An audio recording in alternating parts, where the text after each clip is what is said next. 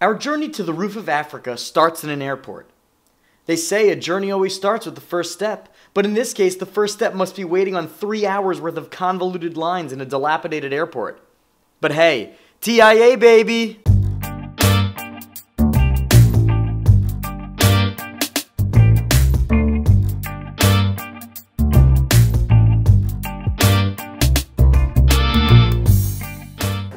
Guys, we're here at the Machame Gate, 1800 meters up. We just got another seven days to go and we're all set.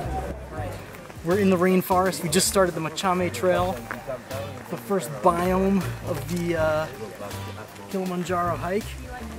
We're just going pole pole so that we don't die.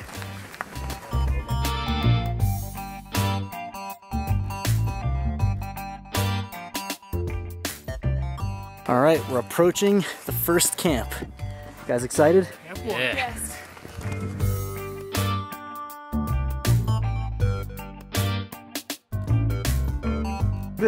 Day two, the porters are all getting everything ready. It's a wild scene. Day one was a cinch. 11 kilometers through the rainforest, and we arrived in good spirits at Machame Camp. On day two, we were still fresh and excited. Even as we headed into the moorland and began to gain some elevation, everything was still. Hakuna Matata! Hakuna Matata! Yeah, yeah!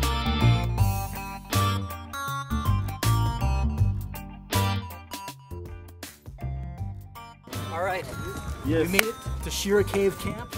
We're at 3,750 meters, about 12,000 feet. It's camp number two, end of day two. Probably gonna do another little day hike later, but here we are, we made it. At the end of day two, spirits were still high and I felt great. Though, of course, ready to kick off my boots and chow down. The food on Kili was delicious and man was it plentiful. They say high altitudes diminish your appetite, but someone must have forgotten to tell our stomachs because we were absolutely ravenous. How is that? So good.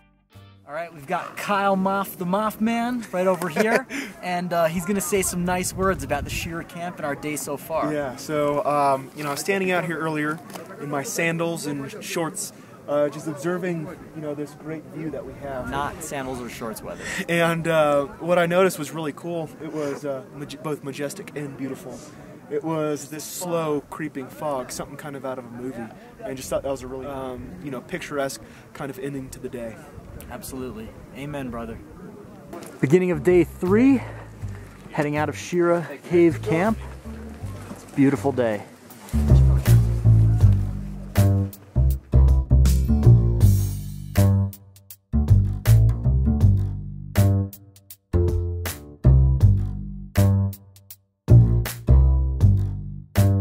Damn, Kyle's diligent.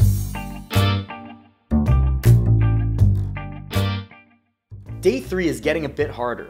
We're dirty and tired, and even with our altitude pills, the headaches are starting to set in. But all in all, we're doing great.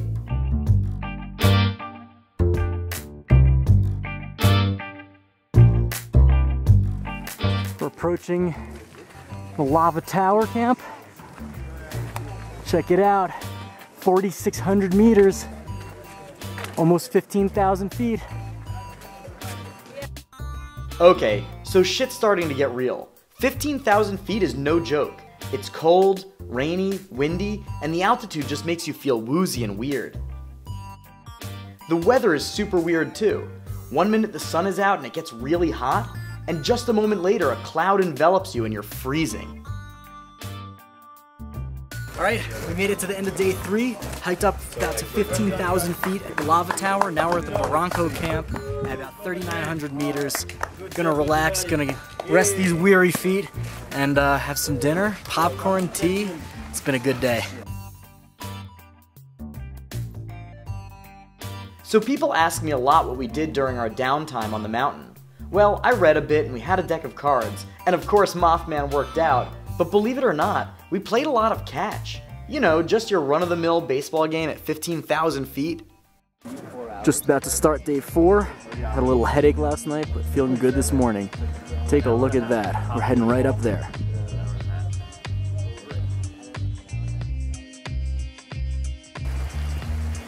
Day 4 was intense.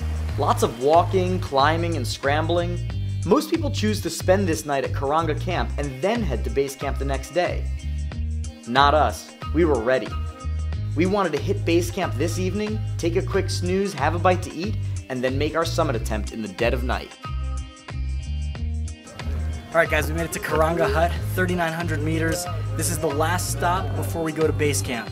Heading off to base camp later today, and then hopefully to the summit at midnight tonight. All right, we just left Karanga camp. We've got a belly full of french fries, fried chicken, and this bizarre coleslaw with vegetables, bananas, and mayonnaise, but it was all delicious. We're heading up to base camp right now. There's the first peak. Gonna be heading up there at midnight tonight.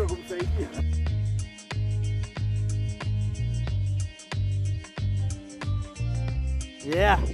Come on, All right, folks. We made it to Barafu Camp, 4,673 meters above sea level. This is the last stop before the summit. We're going to be heading up to the peak, about 19,340 feet. One of the tallest mountains in the world. We are having an absolute blast. All right, I'm lying here in my tent just after getting to base camp, and man, am I wiped out. It is nuts what the altitude does to you. I mean, I'm on these Diamox pills, acetazolamide, and those work wonders. I mean, I have a little bit of a headache, but I can't even imagine doing this without it. But wow, like, it is, like, to go to the bathroom, which is like maybe 50 yards away, it takes all of your energy. It is really wild. But I feel good. I'm excited for the summit. I'm definitely excited for dinner. Meals on Kili are special events in which the rules of time and space just don't seem to apply. The amount of food each of us put away every meal was astounding. Let's put it this way if you didn't know any better, looking at each individual plate, you'd think that it was the serving tray. That's how much food we were eating. Wow. Look at this. Heading to sleep, it's about 7 o'clock. Right before summit night. Waking up at 1 a.m. and we will summit Mount Kilimanjaro. All right, it's go time, baby. Summit night getting suited up. Oh my gosh, it is cold out. Getting layered up and uh, ready to go. Mothmeister, how you feeling? Feeling good, man. Yeah? Two in the morning, don't, don't even know it. Almost at 17,000 feet.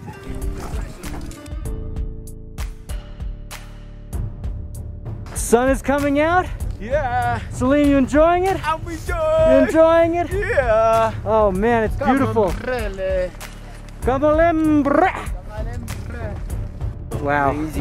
We're almost at Stella Point. Yes. Sun's coming up. The mist is rolling in. Oh man, is that wild. Look at the clouds. Our bags are frosting over. Look at that mist right there. That is amazing. One hell of a view.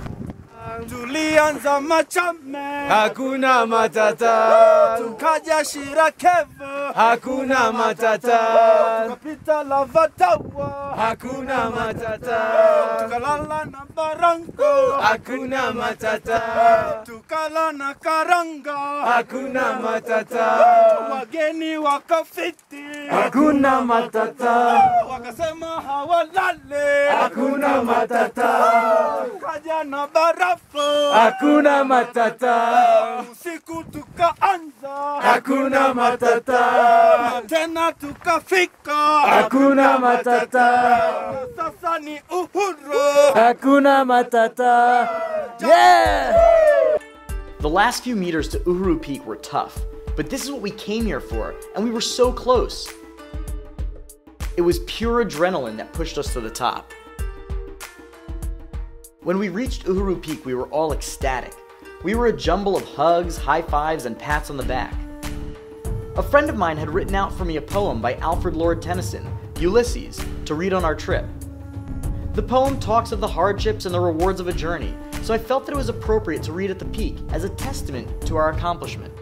To strive, to seek, to find, and not to yield.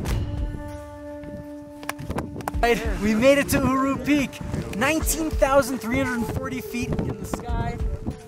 Look at it, we did it, and every single person in our crew, all nine of us made it with our intrepid guides. It was phenomenal. Now, let's get the hell down, it is freezing. Woo! The climb up Kilimanjaro was excruciating. Each step felt like an eternity. On our way down, however, the wind was at our backs and we effortlessly flew down the mountain. It was exhilarating. It was like skiing on the Scree. I'm sitting here in my tent after summit night. I am absolutely beat. It took us about six hours to summit, and then it took us about maybe two hours or so to come down. It was a test of endurance psychologically. I mean, it was really, really rough.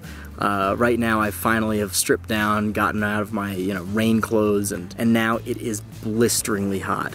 So I am going to take a well-deserved nap and then uh, we're gonna have some good food, and uh, then I think we'll probably nap a little more and uh, head down to Millennium Camp.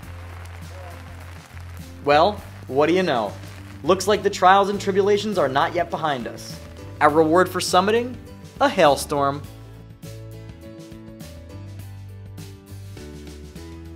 All right, it's the last day. We're heading out from uh, our camp. We just passed Mweka Hut. We've got about 10 kilometers to go till we're at Mweka Gate, and then we are done. We are set to finish this trek in six days instead of seven. Uh, we had a great pace. It's been great fun. Back in the rainforest, can breathe again. Really nice and excited to take a nice hot shower. We did it. It is the end of day six. We just took about 10 kilometer trek back from the camp and we are now at Mweka Gate. We are done. We went up. We went through all the zones, all the climate zones. We went to the peak. We were at Uhuru Peak, 19,340 feet. And now we've come down. We're done and we are ready to go. Have back to back to civilization, back to our beds and our showers and our clean bathrooms. Let's do it. Let's finish the last few steps. Good job. Good job, good job. So here we are, the nine newest summiters of Mount Kilimanjaro. No better way than to celebrate with some Kilimanjaro brand beers. The trek was exhilarating and pushed me to my limits. From the challenges to the successes, it was simply one of the most meaningful and exciting trips I have ever taken. If you live for adventure, then you must put Kilimanjaro on the top of your bucket list. You will not regret it.